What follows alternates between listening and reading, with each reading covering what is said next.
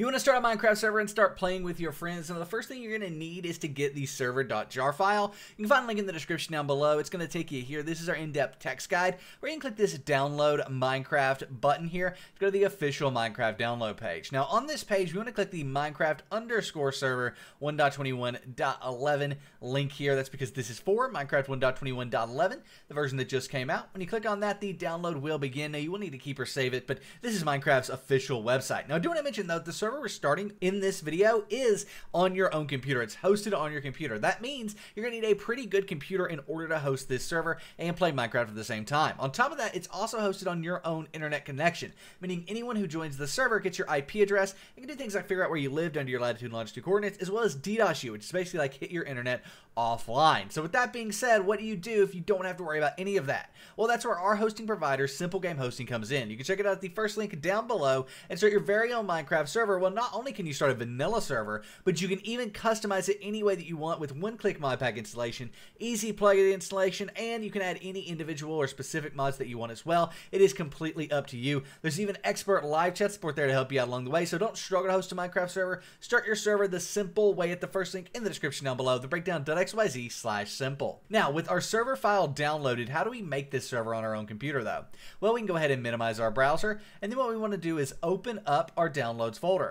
And here we have this server.jar. Go ahead and right click and create a new folder. You can name this anything, but I'm going to name it Minecraft 1.21.11 server.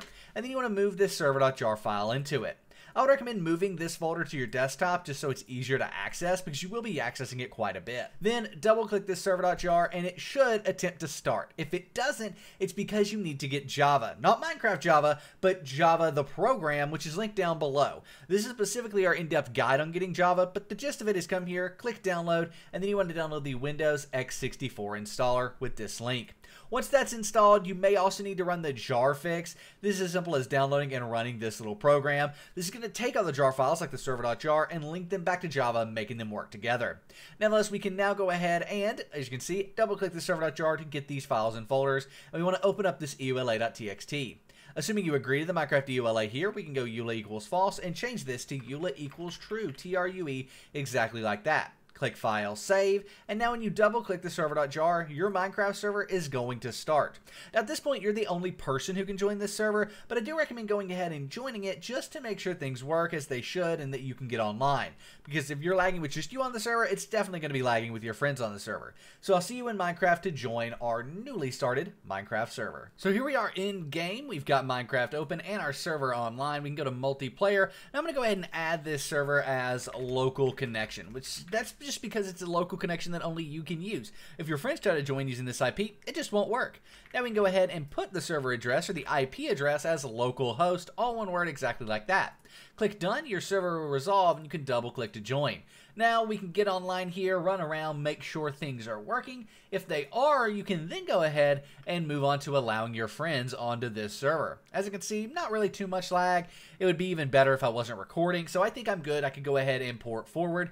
And unfortunately, you do need to port forward in order for your friends to join. We have an in-depth guide linked down below that walks through every single step of port forwarding for a Minecraft server from start to finish, making sure you get the correct port forwarded and get your friends online using your public IP. It's all outlined in video and in-depth text form here, so check it out in the description down below to get your friends online. With that being said, if you run into any issues with your server, let us know in the comments and check out this video, also linked down below. It's a complete guide where I just troubleshoot Minecraft server issues for about 30 minutes. It's actually about 20 minutes. For 20 minutes of me fixing Minecraft server issues, that way when your server inevitably has one, you have a resource and you've kind of seen like, oh yeah, that one video I watched a while back fix that. With that being said, you now have a Minecraft server that is up and running. If you've got any questions, let us know in the comments and be sure to give us a thumbs up and subscribe to the channel for more incredible content. And we'll see you in the next one. I am out. Peace.